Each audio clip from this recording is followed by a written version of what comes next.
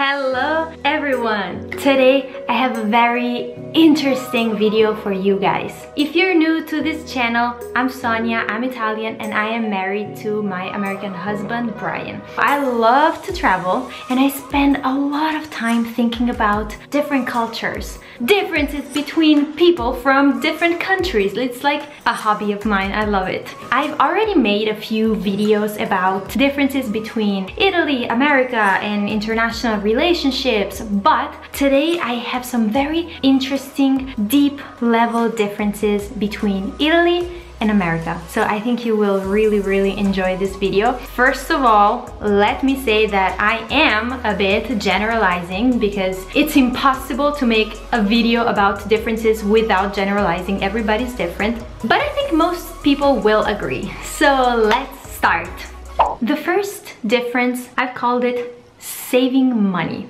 I've noticed that generally speaking, if uh, an American earns 10, they tend to spend 9 or maybe even 10. You know, you spend what you make. So even your life standards will get higher. Like you earn 10, your life standard is 10. In Italy, usually you earn 10, you spend 7 or 6 even though you earn 10, your life standard is 6 or 7 and you want to save money. I'm sure there must be some important like historical reason or you know the economy, unemployment, I don't know. There must be some reason behind this, but I think it's very very interesting. And I am totally Italian, like okay, I earn 10, I want to spend 7. And Brian sometimes is a little more American, like oh Sonia, but you earn 10, so if you spend 10, you're good. And I'm like, how is that good? Like no savings. I don't know, it's, um, it's very interesting. It can be a problem if you are in an international relationship because, you know, money, people fight a lot over money. We don't because I feel like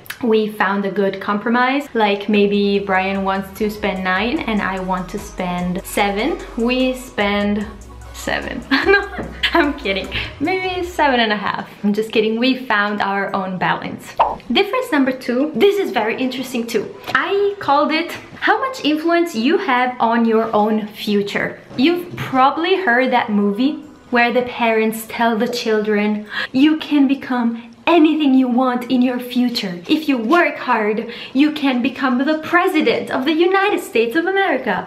I feel like in Italy, usually it's the mentality, it's a little different. My parents have always encouraged me, but they always kept it, I don't want to say kept it real because even the American point of view can be real, so I don't know.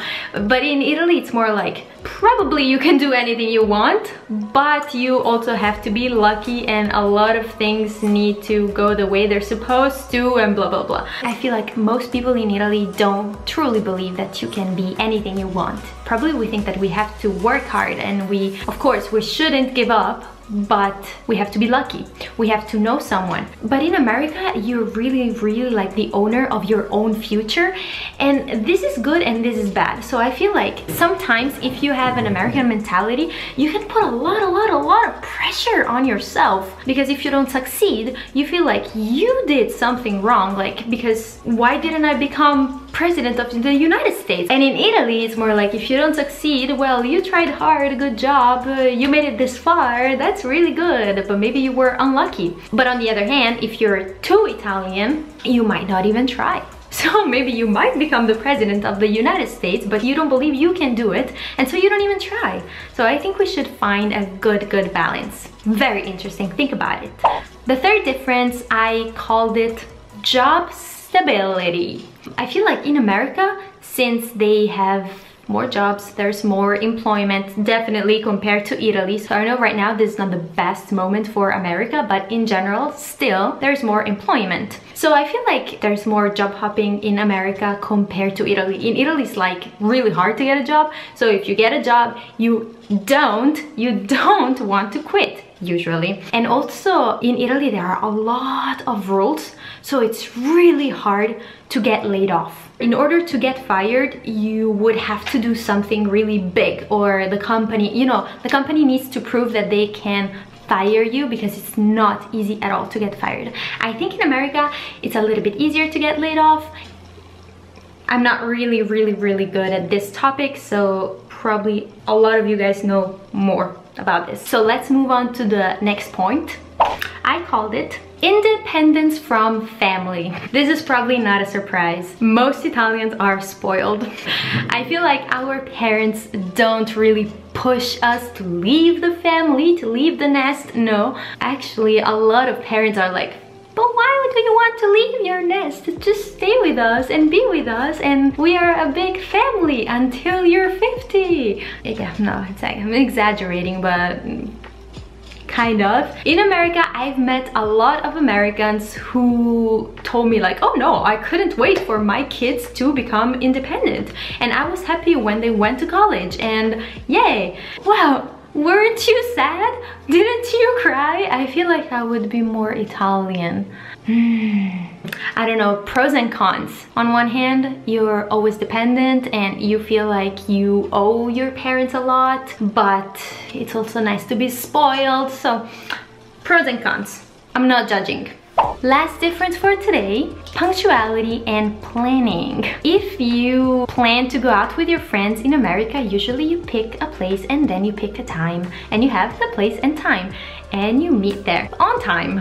In Italy, it's usually like, hey guys, do you want to hang out on Friday night? Yes, okay, cool, see you on Friday. And then it's Friday evening and you still don't know where you'll go and what time. And I think it's very stressful for Brian because like, where are we going? And I feel him because I'm more American. I like to know where we're going and what time. And I'm also very, very punctual. But I'm used to living in Italy, so don't really get mad he gets frustrated. Like the other day we had to go out for a jog with my uncle and he said, let's meet at 7.15 and it was like 7.25. I was totally chilling because you know, just 10 minutes and Brian was like, where is he? Where is he? And I was like, I don't know. He'll probably contact us when he's ready. Yeah, well, we were late. We ended up going out at like 8. That's Italy for you.